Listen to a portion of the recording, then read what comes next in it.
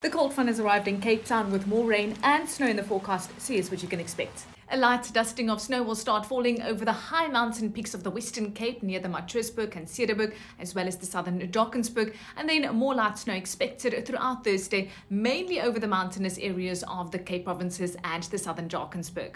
No ground snow expected the next two days, but we've got a stronger cold front making landfall on Sunday, expected to bring widespread snow across South Africa as seen on our snowfall map. The European ECMWF model currently picking up heavy and disruptive snowfall likely to fall on Sunday into Monday over the mountainous areas of the Western Cape. And at the moment, weather models are indicating freezing levels will drop low enough for a light dusting of snow to fall on Sunday, the 7th of July, over Table Mountain. But keep in mind, this forecast is still a few days away and could change. And if the snow falls with rain, it could quickly melt, or it could just be some ice rain falling over Table Mountain. But if you're brave enough, go up and see for yourself as well as more than 10 centimeters of ground snow likely in the Karoo in towns like Sutherland and surrounding areas. Heavy snowfall also likely to fall over the mountainous areas of the Eastern Cape as well as the southern Drakensberg. At the moment, small towns like Molteno and Barkly East near the southern Drakensberg might see some ground snow on Sunday into Monday. But remember, this is an advanced forecast. It's still five days away and could change, so continue to watch Vox Weather for regular updates. This week, two cold fronts are responsible for the icy conditions across the country, with the second front blasting cold air over large parts of the country on Friday. This Wednesday, cool to cold in the shade of green, but very warm over the northeastern areas of South Africa. Temperatures in parts of the low Lowveld reaching the upper 20s and close to 30 degrees.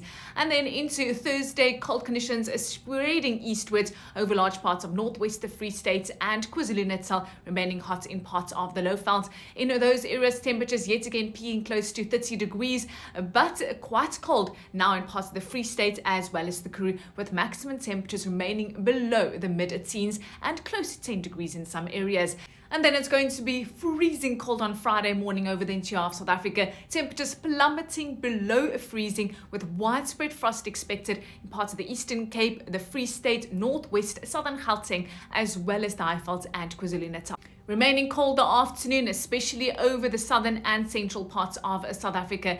Maximum temperatures not even peaking at 15 degrees. Also quite cool to cold in Gauteng, the southern areas 19 degrees in Johannesburg, but remaining warm in parts of the Lowveld. Most of the rain falling over the Cape provinces the next few days. And if we take our accumulated rainfall model all the way to next week, Monday, we can see in those shades of black, we're expecting more than 100 millimeters to accumulate over the mountainous areas and parts of the Winelands with the Weather Service warning against a localized flooding over low-lying areas in the Western Cape, especially over the city of Cape Town and parts of the Winelands.